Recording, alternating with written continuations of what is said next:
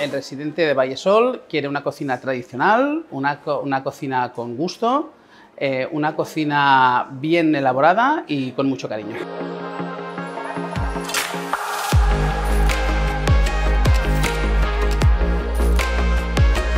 Pues la hemos vivido con mucha ilusión, cada uno de los residentes ha tenido al final un poema significativo que ha sido algo en su vida y lo que hemos hecho ha sido plasmarlo para ahora después poder exponerlo, o sea que con muchísima ilusión.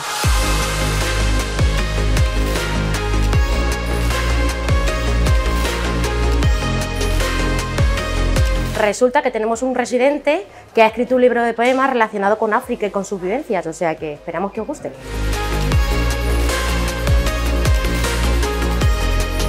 Pues yo me he encontrado con la gran sorpresa de que yo no esperaba esto, o sea, un recuerdo de las poesías y que me invitaban a, venir aquí a ese acto. La verdad, me he encontrado, primero que el acto era inesperado, pero muy agradable. Y después, con unas personas todavía más agradables y mejores, y por lo tanto uno se siente satisfecho de haber contribuido a algo en beneficio de este local que la verdad que me siente muy bien.